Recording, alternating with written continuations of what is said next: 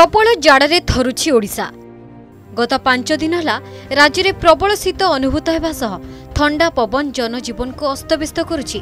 ରାଜ୍ୟକୁ କ୍ରମାଗତ ଉତ୍ତର ଦିଗରୁ ପ୍ରବେଶ କରୁଥିବା ଥଣ୍ଡା ଓ ଶୁଷ୍କ ବାୟୁର ପ୍ରଭାବ ଗତକାଲି ରାତିରୁ ଅଧିକ ଶକ୍ତିଶାଳୀ ହୋଇଛି।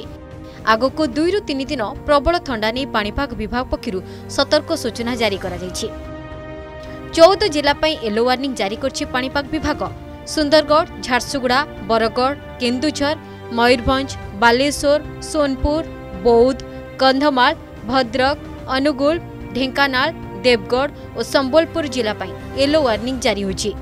ଏହିସବୁ ଜିଲ୍ଲାବାସୀଙ୍କୁ ସୋମବାର ରାତି ଓ ଆସନ୍ତାକାଲି ସକାଳୁ ସକାଳୁ ଘରୁ ନ ବାହାରିବାକୁ ପରାମର୍ଶ ଦିଆଯାଇଛି। ଦୁଇଚକିଆ ଗାଡ଼ି ବା ଖୋଲା କାର୍ରେ ଯା ଆସ ନ କରିବାକୁ ମଧ୍ୟ କୁହାଯାଇଛି। ଆସନ୍ତାକାଲି ଏକୋଇଶ ତାରିଖରେ ଏହାର ପ୍ରଭାବ ସର୍ବାଧିକ ରହିବାର ସମ୍ଭାବନା ରହିଛି। ଚାରି ଜିଲ୍ଲାକୁ ଅରେଞ୍ଜ ୱାର୍ଣ୍ଣିଂ ମୁଖ୍ୟତଃ ଭାବରେ ଶୀତ ଲହରୀରୁ ତୀବ୍ର ଲ- ଶୀତ ଲହରୀର ସମ୍ଭାବନା ରହୁଛି। ସେହିପରି ଆଉ କିଛି ଜିଲ୍ଲାକୁ ୟେଲୋ ୱାର୍ଣ୍ଣିଂ ମଧ୍ୟ ଜାରି କରାଯାଇଛି। ଡେ ଏଇ ଯେଉଁ ଶୀତ ଲହରୀର ପ୍ରଭାବ ଡେ ଥ୍ରୀ ଅର୍ଥାତ୍ ବାଇଶ ତାରିଖ ଯାଏଁ ରହିବ।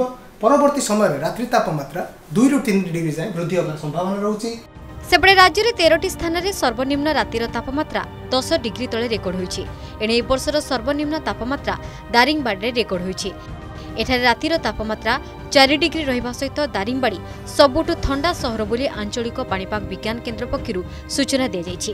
ଦଶ ଡିଗ୍ରୀ ତଳେ ରେକର୍ଡ ହୋଇଥିବା ତାପମାତ୍ରା ମଧ୍ୟରେ ଦାରିଙ୍ଗବାଡ଼ିରେ ଚାରି ଡିଗ୍ରୀ ଝାରସୁଗୁଡ଼ା ପାଞ୍ଚ ଦଶମିକ ଛଅ ବ- ଫୁଲବାଣୀ ଛଅ ଦଶମିକ ପାଞ୍ଚ ସୋନପୁରରେ ଛଅ ଦଶମିକ ନଅ କେନ୍ଦୁଝର ସା- ସାତ ଦଶମିକ ଚାରି ସୁନ୍ଦରଗଡ଼ ବଲାଙ୍ଗୀରରେ ମଧ୍ୟ ଆଠ ଡିଗ୍ରୀ ରାତ୍ରି ତାପମାତ୍ରା ରେକର୍ଡ କରାଯାଇଛି। ଏହି ସମୟରେ ରାତ୍ରି ତାପମାତ୍ରା ଆଭ୍ୟନ୍ତରୀଣ ଓଡ଼ିଶାର କିଛି ଅଞ୍ଚଳରେ ପାଞ୍ଚରୁ ଛଅ ଛଅ ଡିଗ୍ରୀ ଯାଏଁ ତଳକୁ ରହିବାର ସମ୍ଭାବନା ଥିବା ବେଳେ ଉପକୂଳବର୍ତ୍ତୀ ଅଞ୍ଚଳରେ ତିନିରୁ ଚାରି ଡିଗ୍ରୀ ଯାଏଁ ତଳକୁ ତଳକୁ ରହିବାର ସମ୍ଭାବନା ଅଛି। ପ୍ରଭାବରେ ଶୀତ ଲହରୀ ପରିସ୍ଥିତି ମଧ୍ୟ ସୃଷ୍ଟି ହେବାର ସମ୍ଭାବନା ରହିଛି।